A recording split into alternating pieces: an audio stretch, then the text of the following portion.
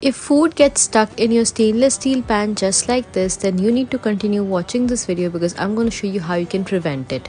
You must preheat your pan really well till the time when you sprinkle some water on it instead of evaporating, it starts dancing around in bubbles just like this. Let's test it out by frying an egg. To do that, add a little bit of oil to your pan, add some salt, then crack in your egg.